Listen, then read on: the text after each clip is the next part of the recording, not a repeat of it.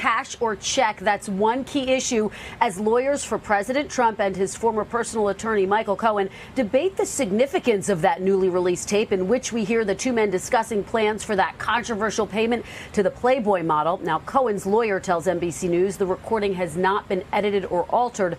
One thing is certain the audio is creating a firestorm.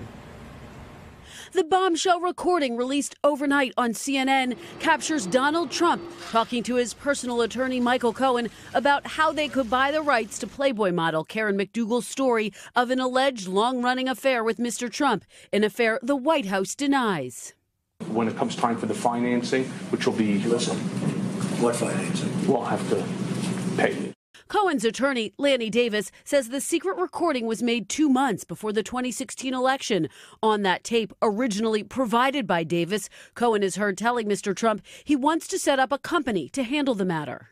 I need to open up a company for the transfer of all of that info regarding our friend David, you know, so that I'm going to do that right away. I've actually come up and I've Give to spoken, me. and I've spoken to Allen Weisselberg about how to set the whole thing up uh, with So what are we going to funding. Cohen then discusses financing the company, prompting questions from Mr. Trump about how to pay.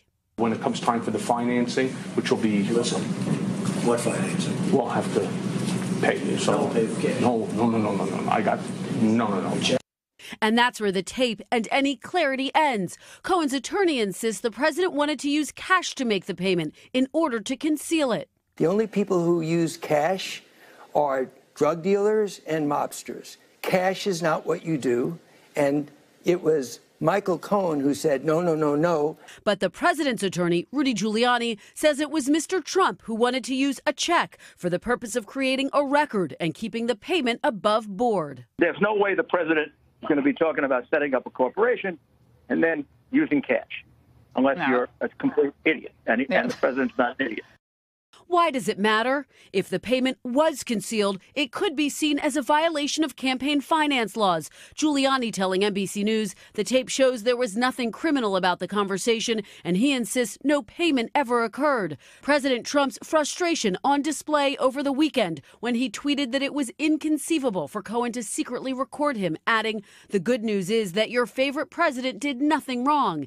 And in what some are calling an ironic twist, just hours before the secretly recorded tape was made public, the president openly telling supporters this. Just remember, what you're seeing and what you're reading is not what's happening.